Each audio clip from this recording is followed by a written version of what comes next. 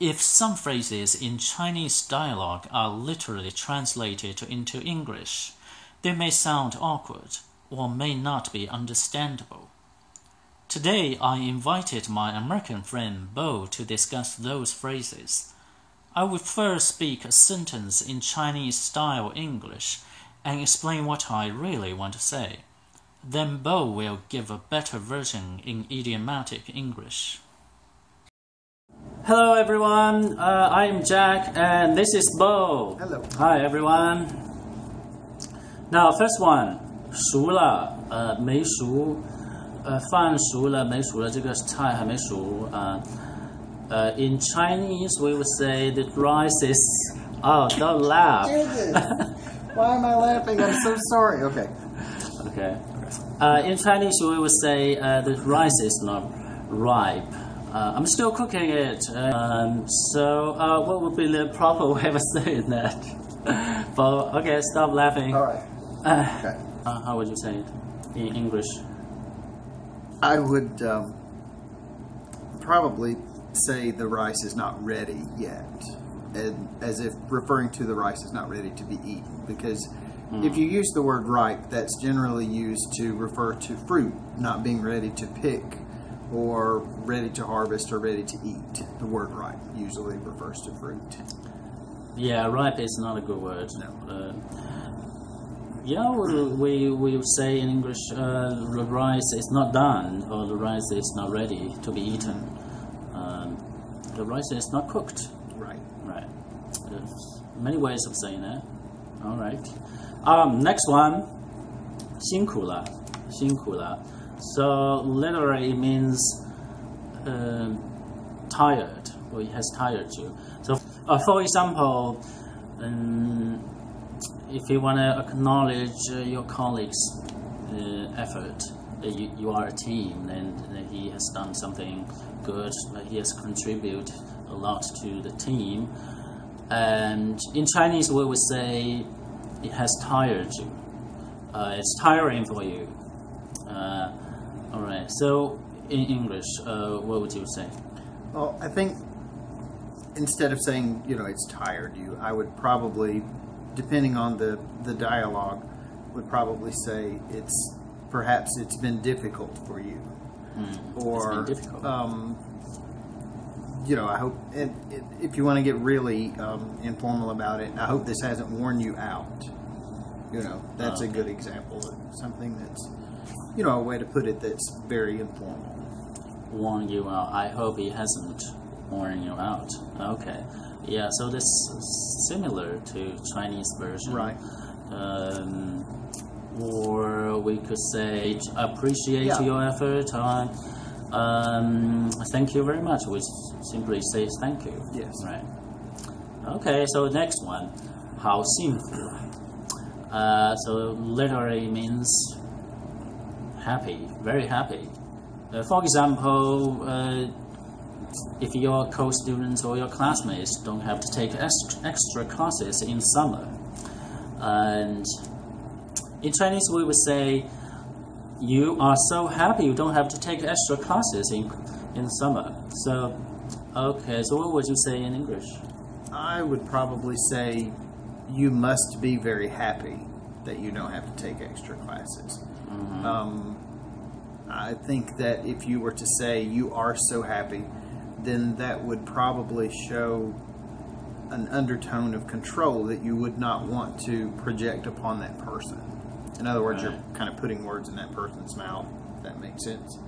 I would I would say yeah you're you're you're, you're bound to be happy uh, that you don't have to take those classes. You you must be so happy that you don't have to take classes. Yeah. Sort of thing. Yeah. So I noticed they use the must or you're bound to. Uh, in Chinese, we would just say, uh, "You are so happy." So in English, we add must, so it doesn't sound so pat- patronizing. Uh, yeah, you, you are guessing, or you, you don't assume that you know the Right. other person's um, mood or whether they are happy or not. There's another way of saying that uh, you are lucky. You are lucky. You Yes. don't have to take extra classes. I'm so happy for you. Right. All right. Next one. Uh, 不好意思，不好意思。 呃、f o r example，真不好意思，怎么能让你请客呢？呃、I am so embarrassed. It's so embarrassing. How can I let you buy me dinner?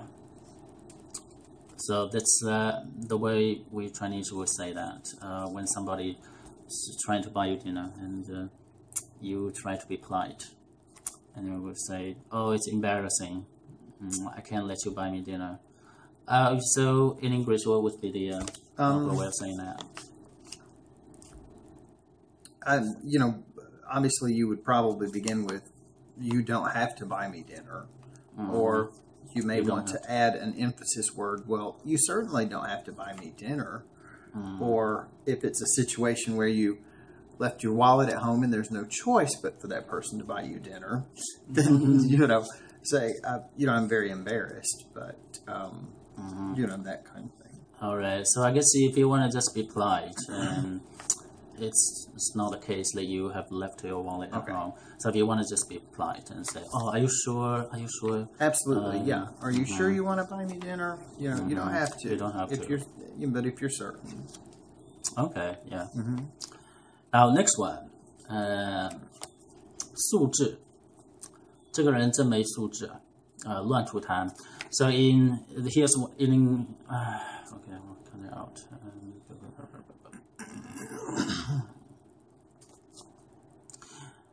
Okay, so here's one scenario. So if you see somebody spitting and uh, smoking and uh, swearing, and you think the person is, uh,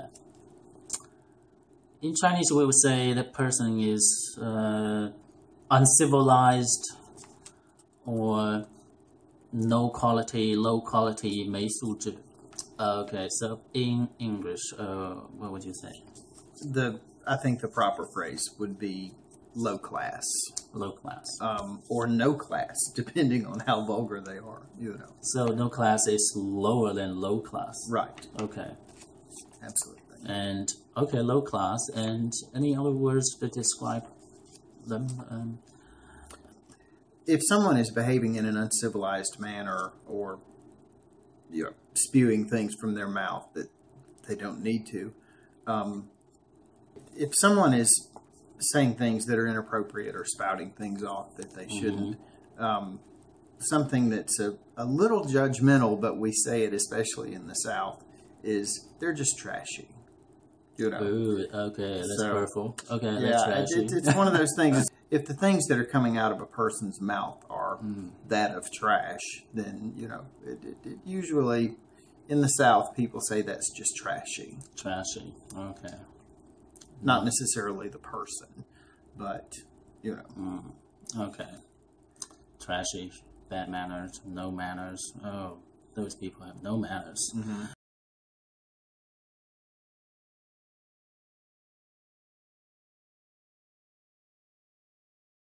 That's all for today. Thank you.